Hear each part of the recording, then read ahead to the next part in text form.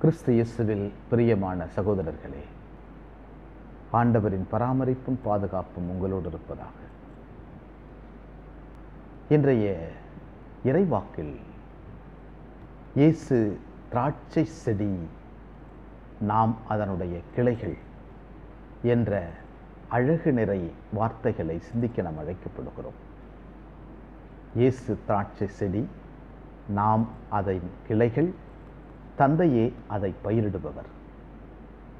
தந்தைதான் திராட்சை தோட்டத்தினுடைய உரிமையாளர். இந்த உரிமையாளர் தன்னுடைய தோட்டத்திலிருந்து நல்ல பழங்களை பெற வேண்டும் என்று ஆசைப்படுவது அவருடைய உரிமை. எனவே இந்த திராட்சை தோட்டத்தினுடைய கிளைகளின் ஒவ்வொரு பகுதியிலிருந்தும் நல்ல பழங்களை ஆண்டவர் எதிர்பார்த்து கொண்டே இருக்கிறார். ஆண்டவர் சொல்லுகிறார் நீங்கள் என்னை தெரிந்து கொள்ளவில்லை நான் தான் உங்களை தெரிந்து கொண்டேன். நீங்கள் சென்று பலன் தரவும் அந்த பலன் நிலைத்திருக்கவும் உங்களை நான் அனுப்பியிருக்கிறேன் என்று சொல்லியிருக்கிறார். எனவே இந்த ஒரு அழைப்பை நாம் பெற்றிருக்கிறோம்.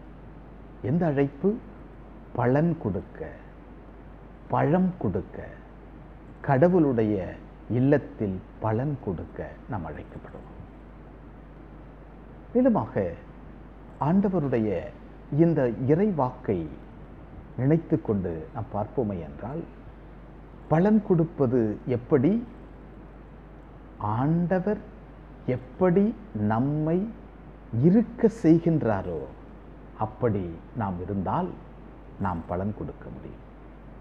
பல நேரங்களில் ஆண்டவரை பிரிந்துவிட்டு நாம் எதுவென்றாலும் செய்யலாம் என்று நினைத்து கொண்டிருக்கிறோம். ஆண்டவரை பிரிந்துவிட்டு இஷ்டத்துக்கு வாழலாம் என்றும் நாம் நினைத்து கொண்டிருக்கிறோம். இந்த கனி கொடுத்தல் ஆண்டவர் நமக்கு அருளை கொடுத்திருக்கிறார். அவருடைய பிரசனத்தில் நாம் இணைந்திருக்கக்கூடிய அருளை கொடுத்திருக்கிறார். எப்படி? ஞானஸ்நானத்தில் நாம் தேர்ந்தெடுக்கப்பட்டோம். தேர்ந்தெடுக்கப்பட்டு இயேசு என்ற கனி கொடுக்கின்ற மரத்தோடு நாம் இணைக்கப்பட்டிருக்கிறோம். ஒட்டு உணர்வு செய்யப்பட்டிருக்கிறோம். இந்த ஓட்டு உயிர் உணர்வை வழியை நாம் செய்யப்பட்டதனால் மரத்தோடு நாம் ஓட்டு உண்மையாக இணைந்ததனால் கனி கொடுக்க அழைக்கப்படுகிறோம். இது கிறிஸ்துவினுடைய கனி. கிறிஸ்துவினுடைய கனி என்பதனால் கிறிஸ்துவினுடைய மரம் என்பதனால் அது கிறிஸ்துவினுடைய வாழ்வினால் ஒருவர் கனி கொடுக்கிறார். கிறிஸ்துவினுடைய வாழ்வினால் ஒருவர் கனி கொடுக்கிறார். ஏனென்றால் அவர் கொடுக்கப்பட்டது கனி. இயேசுவினுடைய கனியாக நாம் வாழ அழைக்கப்படுகிறோம். எனவே இந்த நாட்களிலே ஆண்டவர் புனித பிரான்சிஸ் தே சேல் சொல்கிறார் இயேசுவினுடைய பிரசன்னம் உண்மையான வலிமை. இயேசுவினுடைய பிரசன்னம் எவ்வாறு தெல்லிய நீராக நாம் இருக்கின்றோமோ தெல்லிய நீர் இருக்கின்றதோ அவ்வாறே கடவுளின் பிரசன்னம் தெல்லிய நீராய் நம்மோடு வருகிறது. மிக அழகாக நம் அருகில் இருக்கிறது. அந்த கடவுளின் தைரியமான சக்தி நம்மில் இருக்கிறது.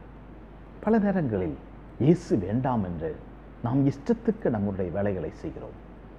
இயேசுவோடு நாம் சரியாக ஆலோசனை செய்யாமல் இயேசுவினுடைய பிரசன்னத்தில் அமர்ந்து நம்முடைய வேலைகளை திட்டம் தீட்டாமல் நாம் இஷ்டம் போல நாம் வாழ்க்கையில் வாழுகின்ற போது ஆண்டவர் சொல்கிறார் என்னை பிரிந்து உங்களால் எதுவும் செய்ய முடியாது.